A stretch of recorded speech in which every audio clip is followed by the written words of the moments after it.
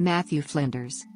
Captain Matthew Flinders, March 16, 1774, July 19, 1814, was an English navigator and cartographer who led the second circumnavigation of New Holland that he would subsequently call Australia or Terra Australis and identified it as a continent. Abel Tasman had circumnavigated it more widely in 1642-43 and had charted its north coast in 1644. Flinders made three voyages to the Southern Ocean between 1791 and 1810. In the second voyage, George Bass and Flinders confirmed that Van Diemen's Land, now Tasmania, was an island. In the third voyage, Flinders circumnavigated the mainland of what was to be called Australia, accompanied by Aboriginal man Bungaree. Heading back to England in 1803, Flinders' vessel needed urgent repairs at Isle de France, Mauritius. Although Britain and France were at war, Flinders thought the scientific nature of his work would ensure safe passage, but a suspicious governor kept him under arrest for more than six years. In captivity, he recorded details of his voyages for future publication, and put forward his rationale for naming the new continent Australia, as an umbrella term for New Holland and New South Wales, a suggestion taken up later by Governor Macquarie. Flinders' health had suffered, however, and although he reached home in 1810, he did not live to see the success of his widely praised book and atlas, A Voyage to Terra Australis. The location of his grave was lost by the mid 19th century, but archaeologists excavating a former burial ground near London's Euston Railway Station for the High Speed 2 HS2 project announced in January 2019 that his remains had been identified. Early life Matthew Flinders was born in Donington, Lincolnshire, England, the son of Matthew Flinders, a surgeon, and his wife Susanna, née Ward. He was educated at Cowley's Charity School, Donington, from 1780 and then at the Reverend John Shingler's Grammar School at Horbling in Lincolnshire. In his own words, he was induced to go to sea against the wishes of my friends from reading Robinson Crusoe, and in 1789, at the age of 15, he joined the Royal Navy. Initially serving on HMS Alert, he transferred to HMS Scipio, and in July 1790 was made midshipman on HMS Bellerophon under Captain Pasley. By Pasley's recommendation, he joined Captain Bligh's expedition on HMS Providence, transporting breadfruit from Tahiti to Jamaica. This was also Bligh's second breadfruit voyage following on from the ill-fated voyage of the Bounty. Flinders' first voyage to New South Wales, and first trip to Port Jackson, was in 1795 as a midshipman aboard HMS Reliance, carrying the newly appointed Governor of New South Wales Captain John Hunter. On this voyage he quickly established himself as a fine navigator and cartographer, and became friends with the ship's surgeon George Bass who was three years his senior and had been born 11 miles, 18 kilometers, from Donington. Not long after their arrival in Port Jackson, Bass and Flinders made two expeditions in two small open boats, named Tom Thumb and Tom Thumb II respectively, the first to Botany Bay and Georges River, the second, in the larger Tom Thumb II, south from Port Jackson to Lake Illawarra, during which expedition they had to seek shelter at Wattamolla. In 1798, Matthew Flinders, now a lieutenant, was given command of the sloop Norfolk with orders to sail beyond Furneaux Islands, and, should a strait be found, pass through it, and return by the south end of Van Diemen's Land. The passage between the Australian mainland and Tasmania enabled savings of several days on the journey from England, and was named Bass Strait, after his close friend. In honor of this discovery, the largest island in Bass Strait would later be named Flinders Island. The town of Flinders near the mouth of Western Port also commemorates Bass' discovery of that bay and port on January 4, 1798. Flinders never entered Western Port, and passed Cape Schanck only on May 3, 1802. Flinders once more sailed Norfolk, this time north on July 17, 1799. He arrived in Moreton Bay between modern-day Redcliffe and Brighton. He touched down at Pumice Stone Passage, Redcliffe and Coochiemudlo Island and also rode ashore at Clontarf. During this visit he named Redcliffe after the Red Cliffs. In March 1800, Flinders rejoined Reliance and set sail for England. Command of Investigator Flinders' work had come to the attention of many of the scientists of the day, in particular the influential Sir Joseph Banks, to whom Flinders dedicated his observations on the coasts of Van Diemen's Land, on Bass's Strait, etc. Banks used his influence with Earl Spencer to convince the Admiralty of the importance of an expedition to chart the coastline of New Holland. As a result, in January 1801, Flinders was given command of HMS Investigator, a 334-ton sloop, and promoted to commander the following month. Investigators set sail for New Holland on July 18, 1801. Attached to the expedition were the botanist Robert Brown, botanical artist Ferdinand Bauer, landscape artist William Westall, gardener Peter Good, geological assistant John Allen, and John Crosley as astronomer. Vallance et al.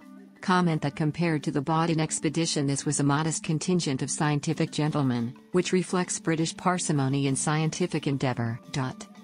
Family On April 17, 1801, Flinders married his longtime friend Anne Chapelle, 1772 1852, and had hoped to bring her with him to Port Jackson. However, the Admiralty had strict rules against wives accompanying captains. Flinders brought Anne on board ship and planned to ignore the rules, but the Admiralty learned of his plans and he was severely chastised for his bad judgment and told he must remove her from the ship. This is well documented in correspondence between Flinders and his chief benefactor, Sir Joseph Banks, in May 1801. As a result, Anne was obliged to stay in England and would not see her husband for nine years, following his imprisonment on the Isle de France, Mauritius, at the time of French possession, on his return journey. When they finally reunited, Matthew and Anne had one daughter, Anne, 1st of April 1812 to 1892, who later married William Petrie, 1821 to 1908. In 1853, the governments of New South Wales and Victoria bequeathed a belated pension to her, deceased, mother of £100 per year, to go to surviving issue of the Union. This she accepted on behalf of her young son, William Matthew Flinders Petrie, who would go on to become an accomplished archaeologist and Egyptologist. Exploration of the Australian coastline. Aboard investigator, Flinders reached and named Cape Leeuwin on December 6, 1801, and proceeded to make a survey along the southern coast of the Australian mainland. On his way he stopped in at Oyster Harbour, Western Australia. There he found a copper plate that Captain Christopher Dixon, on Elligood, had left the year before. It was inscribed, August 27, 1800. C.H.R. Dixon, ship Good. On April 8, 1802, while sailing east, Flinders sighted Geographe, a French corvette commanded by the explorer Nicolas Baudin, who was on a similar expedition for his government. Both men of science, Flinders and Baudin met and exchanged details of their discoveries, despite believing that their countries were at war. Flinders named the bay Encounter Bay. Proceeding along the coast, Flinders explored Port Phillip, the site of the future city of Melbourne, which, unknown to him, had been discovered only 10 weeks earlier by John Murray aboard HMS Lady Nelson. Flinders scaled Arthur's Seat, the highest point near the shores of the southernmost parts of the bay, where the ship had entered through the heads. From there he saw a vast view of the surrounding land and bays. Flinders reported back to Governor King that the land had a pleasing and, in many parts, a fertile appearance. After scaling the You Yangs to the northwest on 1st of May, he stated I left the ship's name on a scroll of paper, deposited in a small pile of stones upon the top of the peak. Here, Flinders was drawing upon a British tradition of constructing a stone cairn to mark a historical location. The Matthew Flinders Cairn, which was later enlarged, is located on the upper slopes of Arthur's Seat, a short distance below Chapman's Point. With stores running low, Flinders proceeded to Sydney, arriving on May 9, 1802. Here he was rejoined by Bungaree, the Aboriginal man who had accompanied him on his earlier coastal survey in 1799. Having hastily prepared the ship, Flinders set sail again on 22nd of July, heading north and surveying the coast of Queensland. From there he passed through the Torres Strait, and explored the Gulf of Carpentaria. During this time, the ship was discovered to be badly leaking, and despite careening, they were unable to effect the necessary repairs. Reluctantly, Flinders returned to Sydney, though via the western coast, completing the circumnavigation of the continent. On the way, Flinders jettisoned two wrought iron anchors which were found by divers in 1973 at Middle Island, Recherche Archipelago, Western Australia. The best bower anchor is on display at the South Australian Maritime Museum while the stream anchor can be seen at the National Museum of Australia. Arriving in Sydney on June 9, 1803, Investigator was subsequently judged to be unseaworthy and condemned. Observations of ocean tides. While not formally trained in natural philosophy, now termed physics, Flinders coined the term Dodge tide in reference to his 1,802 thirds observations that the tides in the very shallow Spencer and St. Vincent's Gulf seemed to be completely inert for several days, at select locations. Such phenomena have now also been found in the Gulf of Mexico and in the Irish Sea. In both the Irish Sea and the two South Australian Gulfs, a northbound wave from the open ocean interferes non-linearly and with a reflected and weaker southbound wave, resulting in aperiodic and very dissipated tidal motions. In his 1803 observations of the large tides at Broad Sound in Queensland, up to 11 meters range, Flinders correctly attributed this to two waves traveling north and south, respectively, and meeting at Broad Sound. He postulated that the dense reef wall further offshore caused the deep ocean tide to bifurcate at the northern southern ends of the reef, travel into shallow shelf waters and meet at Broad Sound. These phenomena were finally confirmed by G.I. Taylor in his landmark 1919 Irish Sea analysis attempted return to England and imprisonment. Unable to find another vessel suitable to continue his exploration, Flinders set sail for England as a passenger aboard HMS Porpoise. However, the ship was wrecked on Wreck Reefs, part of the Great Barrier Reef, approximately 700 miles, 1,100 kilometers, north of Sydney. Flinders navigated the ship's cutter across open sea back to Sydney, and arranged for the rescue of the remaining maroon crew. Flinders then took command of the 29-ton schooner HMS Cumberland in order to return to England, but the poor condition of the vessel forced him to put in at French-controlled Isle de France, now known as Mauritius, for repairs on December 17, 1803, just three months after Baudin had died there. War with France had broken out again the previous May, but Flinders hoped his French passport, despite its being issued for investigator and not Cumberland, and the scientific nature of his mission would allow him to continue on his way. Despite this, and the knowledge of Baudin's earlier encounter with Flinders, the French governor, Charles Mathieu Isidore Decaen, detained Flinders. The relationship between the men soured, Flinders was affronted at his treatment, and Decaen insulted by Flinders' refusal of an invitation to dine with him and his wife. Decaen was suspicious of the alleged scientific mission as the Cumberland carried no scientists and Decaen's search of Flinders' vessel uncovered a trunk full of papers, including dispatches from the New South Wales Governor Philip Gidley King, that were not permitted under his scientific passport. Furthermore, one of King's dispatches was specifically to the British Admiralty requesting more troops in case Decaen were to attack Port Jackson. Among the papers seized were the three logs of HMS Investigator of which only Volume 1 and Volume 2 were returned to Flinders, these are now both held by the State Library of New South Wales. The third volume was later deposited in the Admiralty Library and is now held in the British Public Record Office. Decaen referred the matter to the French government, this was delayed not only by the long voyage but also by the general confusion of war. Eventually, on March 11, 1806, Napoleon gave his approval, but Decaen still refused to allow Flinders' release. By this stage Decaen believed Flinders' knowledge of the island's defenses would have encouraged Britain to attempt to capture it.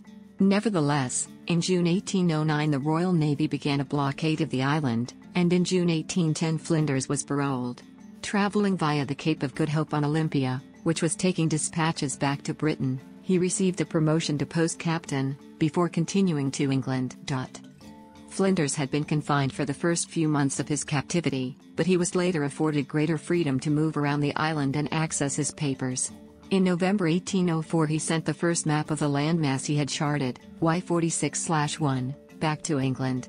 This was the only map made by Flinders where he used the name Australia or Terra Australis for the title instead of New Holland the name of the continent that James Cook had used in 1770 and Abel Tasman had coined a Dutch version of in 1644, and the first known time he used the word Australia.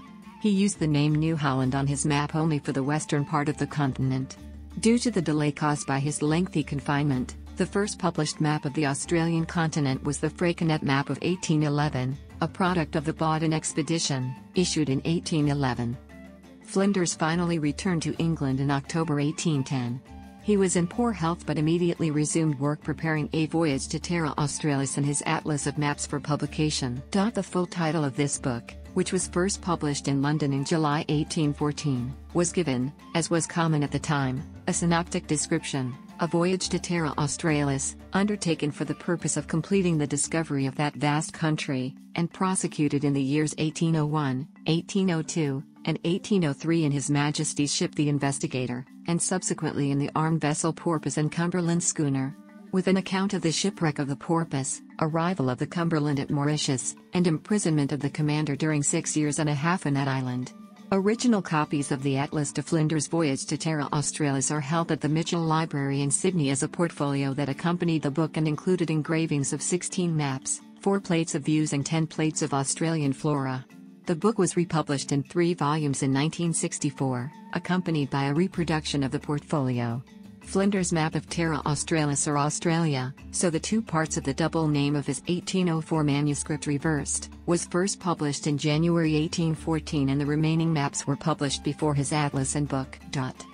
Death Flinders died, aged 40, on July 19, 1814 from kidney disease, at his London home at 14 London Street, later renamed Maple Street and now the site of the BT Tower. This was on the day after the book and atlas was published, Flinders never saw the completed work as he was unconscious by that time, but his wife arranged the volumes on his bed covers so that he could touch them. On 23 July he was interred in the burial ground of St. James's Church, Piccadilly, which was located some distance from the church, beside Hampstead Road, Camden, London. The burial ground was in use from 1790 until 1853. By 1852 the location of the grave had been forgotten due to alterations to the burial ground. In 1878 the cemetery became St. James's Gardens, Camden, with only a few gravestones lining the edges of the park. Part of the gardens, located between Hampstead Road and Euston Railway Station, was built over when Euston Station was expanded, and Flinders' grave was thought to possibly lie under a station platform. The gardens were closed to the public in 2017 for work on the High Speed 2, HS2, rail project which requires the expansion of Euston Station. The grave was located in January 2019 by archaeologists. His coffin was identified by its well-preserved lead coffin plate. It is proposed to rebury his remains, at a site to be decided, after they have been examined by osteoarchaeologists. Since the discovery of his grave the parish church of Donington, Flinders' birthplace, has seen a surge of visitors. The Matthew Flinders Bring Him Home group is campaigning to have his remains interred at the church. The group includes local and county representatives and the Britain Australia Society, as well as Flinders' direct descendants. Naming of Australia and discovery of Flinders 1804 map Y46 1. Flinders map Y46 1 was never lost. It had been stored and recorded by the UK Hydrographic Office before 1828. Geoffrey C. Ingleton mentioned Y46 1 in his book Matthew Flinders Navigator and Chartmaker on page 438. By 1987, every library in Australia had access to a microfiche copy of Flinders Y46 1. In 2001 to 2002, the Mitchell Library Sydney displayed Y46 1 at their Matthew Flinders, The Ultimate Voyage exhibition. Paul Brunton called Y46 1 the memorial of the great naval explorer Matthew Flinders. The first hard copy of Y46-1 and its cartouche was retrieved from the UK Hydrographic Office, Taunton, Somerset, by historian Bill Fairbanks in 2004. On April 2, 2004, copies of the chart were presented by three of Matthew Flinders's descendants to the Governor of New South Wales, in London, to be presented in turn to the people of Australia through their parliaments by 14 November, the 200th anniversary of the chart leaving Mauritius. This celebration marked the first time the naming of Australia was formally recognised. Flinders was not the first to use the word Australia, nor was he the first to apply the name specifically to the continent.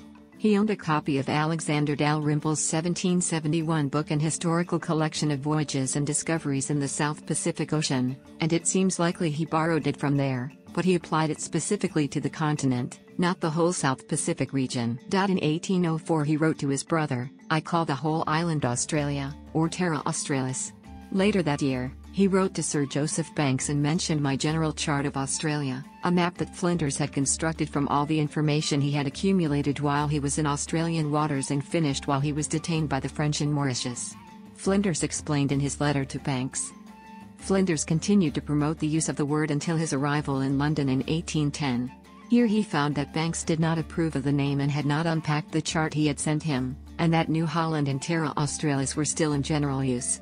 As a result, a book by Flinders was published under the title A Voyage to Terra Australis and his published map of 1814 also shows Terra Australis as the first of the two name options, despite his objections. The final proofs were brought to him on his deathbed, but he was unconscious.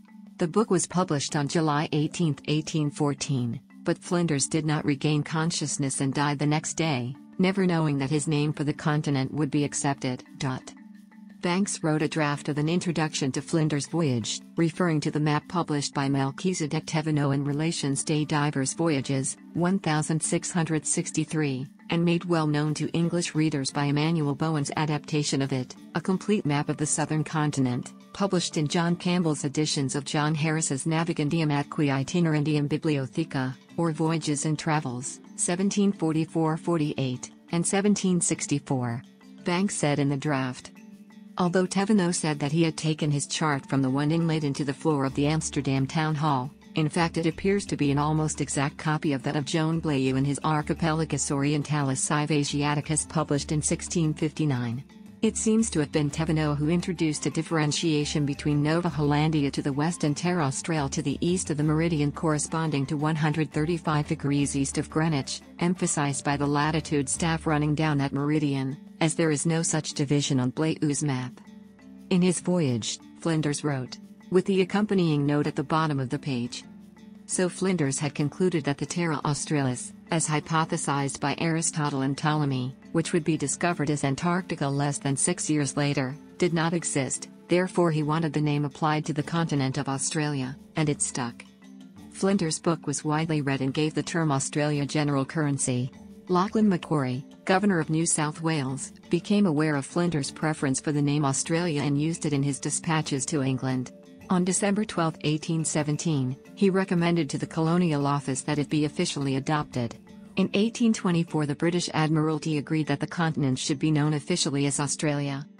Legacy of Flinders Although he never used his own name for any feature in all his discoveries, Flinders' name is now associated with over 100 geographical features and places in Australia, including Flinders Island in Bass Strait, but not Flinders Island in South Australia, which he named for his younger brother, Samuel Flinders. Flinders is seen as being particularly important in South Australia, where he is considered the main explorer of the state. Landmarks named after him in South Australia include the Flinders Ranges and Flinders Ranges National Park, Flinders Column at Mount Lofty, Flinders Chase National Park on Kangaroo Island, Flinders University, Flinders Medical Centre, the suburb Flinders Park and Flinders Street in Adelaide. In Victoria, eponymous places include Flinders Peak, Flinders Street in Melbourne, the suburb of Flinders, the federal electorate of Flinders, and the Matthew Flinders Girls Secondary College in Geelong. Flinders Bay in Western Australia and Flinders Way in Canberra also commemorate him. Educational institutions named after him include Flinders Park Primary School on South Australia, and Matthew Flinders Anglican College on the Sunshine Coast in Queensland. A former electoral district of the Queensland Parliament was named Flinders. There are also Flinders highways in both Queensland and South Australia. Bass and Flinders Point in the southernmost part of Cronulla in New South Wales features a monument to George Bass and Matthew Flinders, who explored the Port Hacking estuary. Australia holds a large collection of statues erected in Flinders' honour.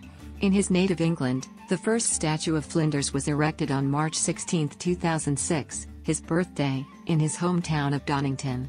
The statue also depicts his beloved cat Trim, who accompanied him on his voyages. In July 2014, on the 200 year anniversary of his death, a large bronze statue of Flinders by the sculptor Mark Richards was unveiled at Australia House, London by Prince William, Duke of Cambridge, and later installed at Euston Station near the presumed location of his grave. Flinders' proposal for the use of iron bars to be used to compensate for the magnetic deviations caused by iron on board a ship resulted in their being known as Flinders bars. Flinders, who was Sir John Franklin's cousin by marriage, John's mother Hannah being the sister of Matthew's stepmother Elizabeth, instilled in him a love for navigating and took him with him on his voyage aboard Investigator. In 1964 he was honored on a postage stamp issued by Postmaster General's Department, again in 1980, and in 1998 with George Bass. Flindersia is a genus of 14 species of tree in the citrus family. Named by investigators botanist, Robert Brown in honor of Matthew Flinders. Flinders landed on Coochiemudlo Island on July 19, 1799, while he was searching for a river in the southern part of Moreton Bay, Queensland, Australia. The island's residents celebrate Flinders Day annually, commemorating the landing. The celebrations are usually held on the weekend near 19th of July, the actual date of the landing. Works. The actual date of the landing. Works. The actual date of the landing. Works. The actual date of the